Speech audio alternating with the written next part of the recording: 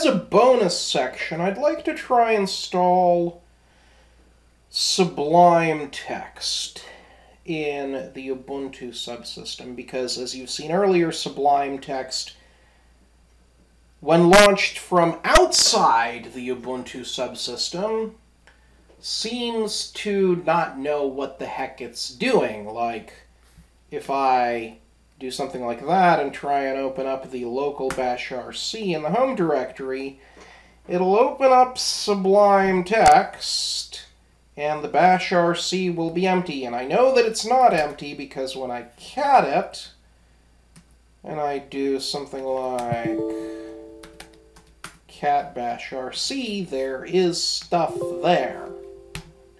So definitely, there definitely seems to be something fishy with this. So Let's see if we can install Sublime Text for Linux. From new, not download from Windows. Um,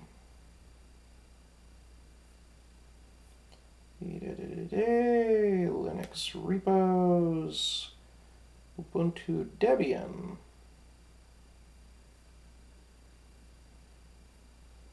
Okay, looks like you can install it from apt.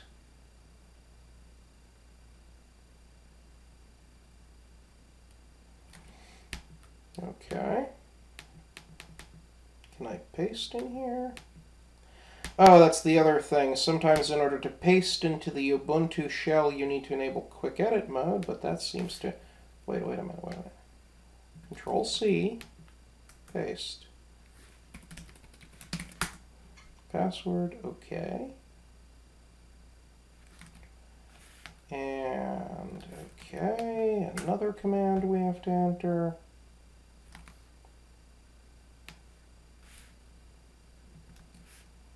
And okay.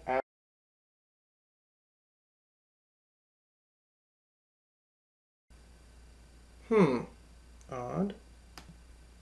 Okay, um, how about if I try to add this thing here directly, sudo vim sublime text dot list.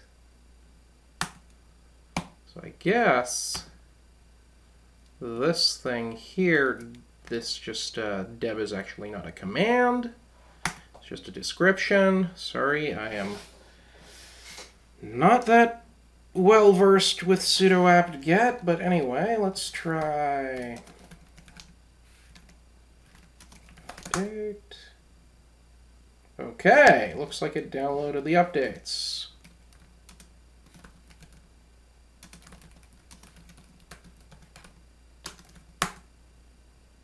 Okay.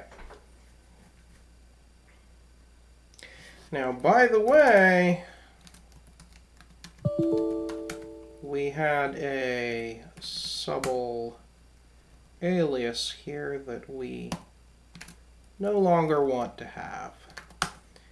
In Ubuntu, we want to launch the Ubuntu Sublime.